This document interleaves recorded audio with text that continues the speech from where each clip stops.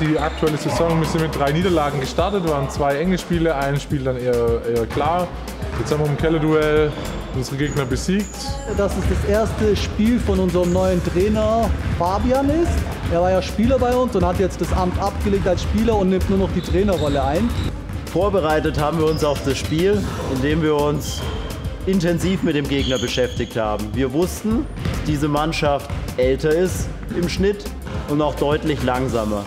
Mein Ziel war es dadurch, dass wir unsere Systeme sauber von Anfang bis Ende spielen und so dadurch den Ball laufen lassen. Ja? Das ist uns gestern jetzt nicht so immer geglückt. Hat holprig angefangen, finde ich. Wir haben uns schwer getan, die ersten paar Minuten generell mal einen Punkt zu machen ne? und dann ins Spiel reinzukommen. Aber als wie es passiert ist, finde ich, haben wir uns ganz gut gefangen und dann ist es, wie du es gesagt hast, eine gute Achterbahnfahrt gewesen. Also. Wir sind nach wie vor noch in der Findungsphase und ja, treten noch nicht so selbstbewusst auf. Verbesserungspotenzial sehen wir auf jeden Fall in unserer Defense, dass wir da mehr miteinander und gegen den Mann arbeiten.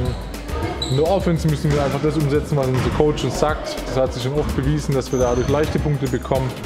Und wenn wir das umgesetzt bekommen, können wir als Team richtig weit kommen.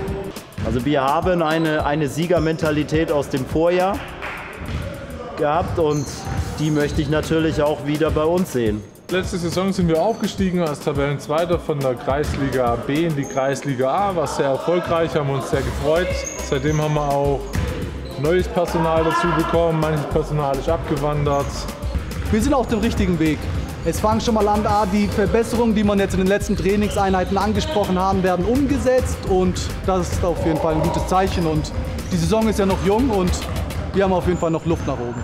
Die Stimmung im Team war gestern natürlich aufgrund des Sieges richtig gut.